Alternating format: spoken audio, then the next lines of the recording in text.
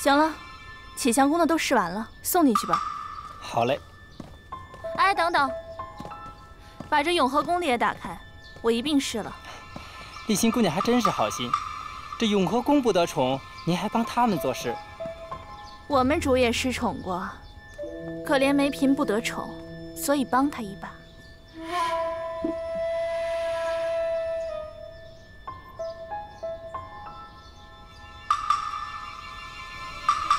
启祥宫的人会这般好心，连永和宫的饭菜都帮忙试着。无事献殷勤，必有蹊跷。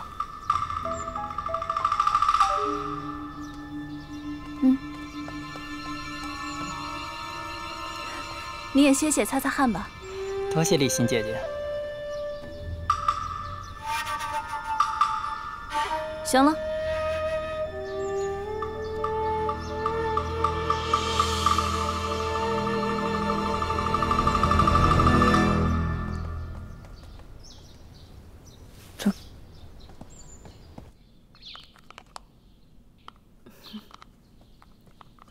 主儿，送晚膳的小太监说，启祥宫给饭菜试毒，一并替咱们试了。咱们还要再试吗？要试便去取银针，不试便罢了。启祥宫难不成还想毒死我吗？是。启祥宫的人多此一举替你试毒，你倒不觉得他们多事？看来梅嫔，你虽然病后少在宫中走动，但是对启祥宫还是颇为信任。皇后娘娘万安。于妃娘娘安。两位今日怎么有雅兴到永和宫来？请坐吧。你们都退下吧。本宫和皇后正好经过启祥宫的时候，看到立心在替你试毒，觉得事有蹊跷，便绕过来看一看了。于妃，我与启祥宫素来少往来，但他好意，我也无需怀疑。若因此惹得你疑心，我用银针一试便是。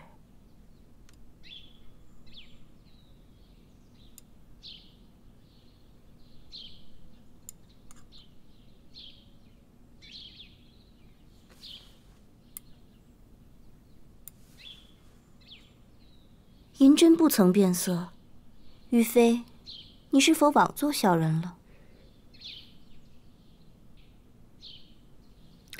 无事便好，只是启祥宫的嘉贵妃是什么样的人，你我心里都略知一二。她突然对你那么操心，本宫和于妃只是想过来提醒你，让你留意。多谢皇后娘娘提醒，臣妾知道孰是孰非。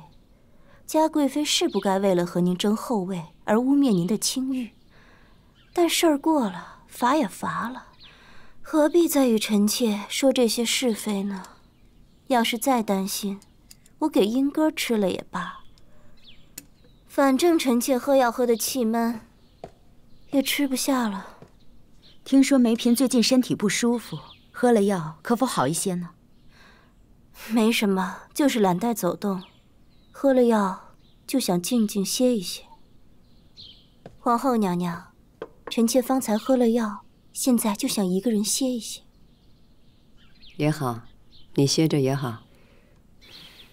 恭送皇后娘娘。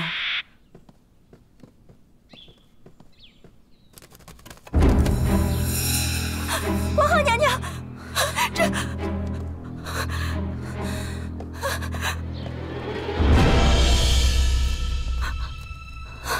这英哥方才还好好的。你的晚膳，本宫会送去江雨冰那儿，查查有何不妥。梅嫔。你现在不会觉得启祥宫的人是想毒死你这只鹦鹉吧？主，皇上传您前往养心殿，时辰到了。皇后娘娘，臣妾得去侍奉皇上了。您和于妃的好意，臣妾方才误会了，在这儿给你们赔不是了。你赶紧去养心殿吧，江雨冰那儿有任何消息，都会告诉你。是，太吓人了，方才差点就出人命了。在宫中，生死是这么轻易的事情。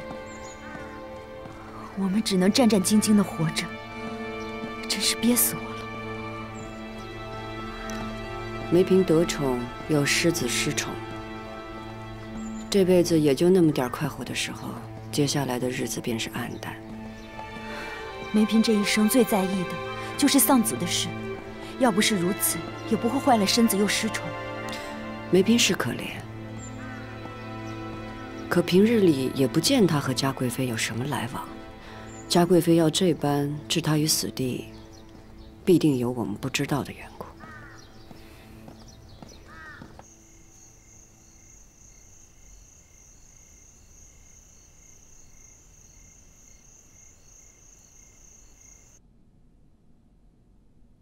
在杭州行宫，你和庆平一同献艺，朕进了庆平的位分，一直没怎么理会你。你可知为什么？臣妾自知病得久了，模样也不如从前，难再入皇上眼，无话可怨。这一辈子都在为他人做嫁衣，从没怎么为自己过。你真的不怨吗？臣妾要怨的事情太多了，都不知该怨哪一件了。朕知道你最怨的是，你和朕的孩子受人所害。但朕要问问你，是什么人把你带到这个地方来，让你一生怨恨缠身，最后一无所得？皇上，皇娘把你藏得可真好啊！朕明着送来了庆嫔和淑妃，暗中早就布下了你。要不是你这次露了行草，朕还真不会找人去挖你的底细。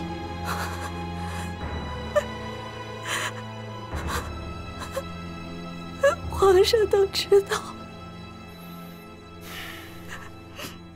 朕知道你身子不好，站起来说话吧。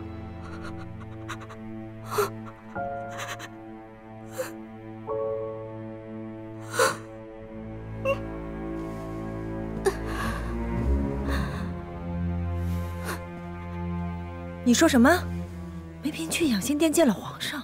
嗯，那她是没来得及用晚膳吗？一定是这样，否则她哪有命去见皇上？